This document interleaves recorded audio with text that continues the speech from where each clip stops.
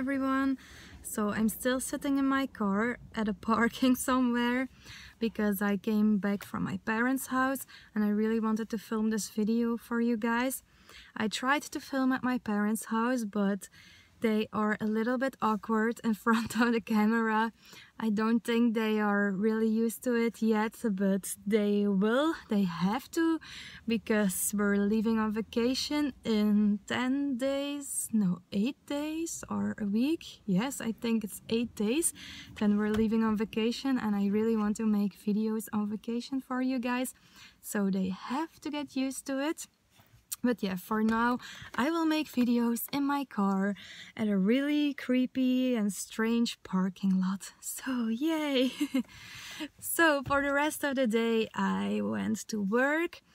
Nothing really special, just did a lot of work today. Céline's still sick, unfortunately. I really miss her at the office, but yeah, she will be back next week, I think I hope so but we will see. She have to get he, she has to get better.